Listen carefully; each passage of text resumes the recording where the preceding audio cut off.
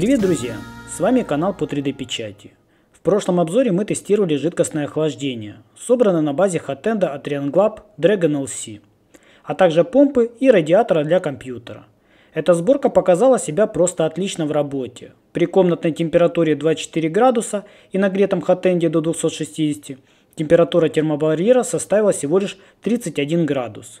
А вот при тестировании в более приближенных к реальным условиям работы активной камеры – Например, при температуре духовки 150 градусов и сопла 260, температура термобарьера выросла незначительно, всего лишь до 45 градусов, что еще раз подтверждает высокую эффективность работы жидкостного охлаждения в таких сложнейших условиях работы.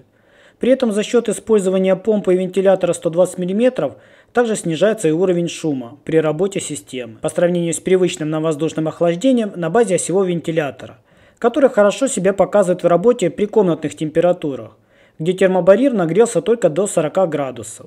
А вот когда мы поместили в разогретую до 150 градусов духовку, то ситуация кардинально изменилась, и термобарьер начал сильно перегреваться. Выровнялся с температурой внешней среды, и это логично, ведь мы обдуваем радиатор 150 градусным воздухом.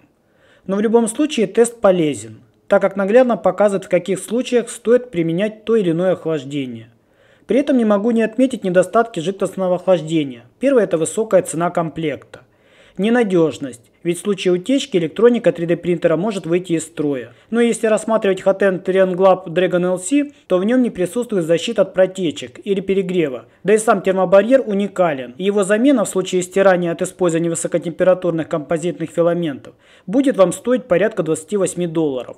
Поэтому я разработал свою версию Hotenda H2O. В нем присутствует термодатчик для контроля перегрева в случае утечки, фитинг для удобства монтажа для Bowden-системы, а также на базе Dual Drive Direct Extruder. Ну и конечно же самое главное это универсальность. Можно использовать всевозможные резьбовые термобарьеры, начиная от цельно-титана за 4 доллара и заканчивая популярным титан-медь барьером. И конечно не стоит забывать о наличии дополнительных крепежных отверстий для вертикального и горизонтального крепления хатенда, что очень сильно облегчит монтаж подобного девайса. Чертежи и 3D модели уже отправил в компанию Melov которая согласилась сделать тестовый экземпляр после праздников. Что же касается воздушного охлаждения, то вопрос остался открытым. Ведь охлаждать воздухом это более безопасно и не требует дополнительной гидроизоляции принтера. Ну и к тому же дешевле в итоге. Поэтому я решил продолжить эксперименты с этим видом охлаждения. Но в этот раз я заменил осевой вентилятор на воздушный компрессор мощностью 10 Вт и расходом 15 литров в минуту. В первом тесте я подключил Hotend Trianglab Dragon LC. Температура в комнате составила 24 градуса.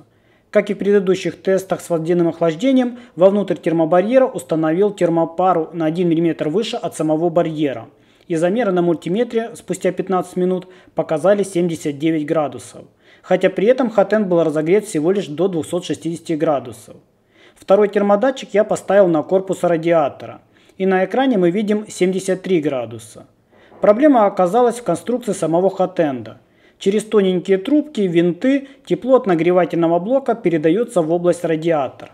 А так как термобарьер и радиатор совмещены, то подобные конструкции хатендов, к сожалению, невозможно использовать в активной камере, именно с компрессорным охлаждением. Но я решил не сдаваться и вспомнил о Crazy Hotend, у которого конструкция отличается тем, что термобарьер отделен от корпуса и имеет свой собственный мини-радиатор.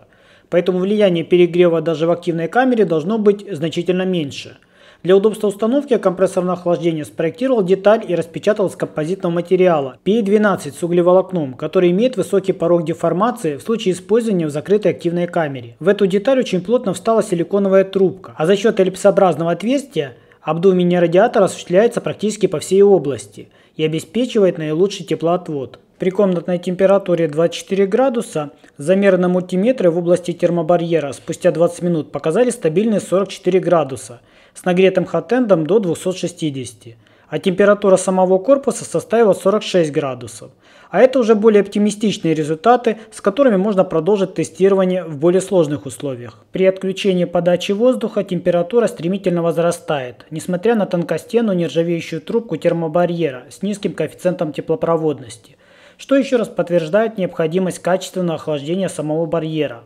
Также для чистоты эксперимента заменил силиконовую трубку с переходниками на толстую с одним сечением по всей длине. без перепадов давления, но в результате получил те же параметры, что и ранее. 45 градусов при 260 нагревательного блока. При тесте в нагретой духовке до 150 градусов и температуре Hotenda 260 мы получили стабильную температуру термобарьера 117 градусов, что практически равно температурной деформации большинства высокотемпературных филаментов, которые печатаются как раз в таких активных камерах. Но я решил все-таки разобраться, в чем основная причина. Дело в том, что диаметр трубки большой – а мощность компрессора невысокая, поэтому воздух разогревается еще до того, как попадает на радиатор. В связи с этим было принято решение заменить трубку на тефлоновую, у которой диаметр меньше, скорость потока выше, и такая замена дала позитивный результат по снижению температуры термобарьера аж на 17 градусов.